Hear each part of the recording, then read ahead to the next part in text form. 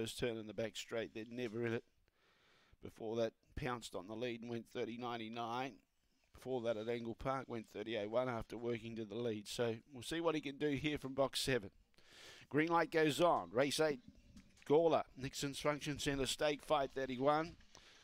Away, way too much, missed the kick. Fast away was Dakota Roxy. Way too much was able to get across, but then copped the bump when Love and Rain was kicking up on the inside, giving the lead around two and a half, three lengths. Start going into the back straight.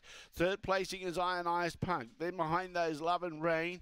Around the outside, he's our designs trying to make ground. Right exit, Christie's Lad, and right out the back was Hayride Reed, but going strong, Dakota Roxy. Looking good, clear by four lengths. Way too much, can't bridge a gap. Ionized Punk getting up on the inside, but Dakota Dakota Roxy's going to be too good. Wins by four lengths.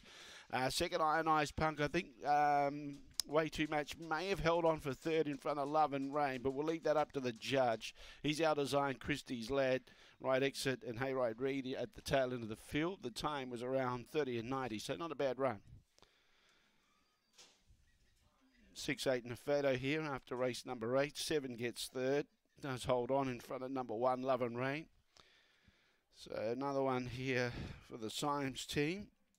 Dakota Hummer scoring in race six. And now Dakota Roxy here in race eight. Good jump, got across down to the inside.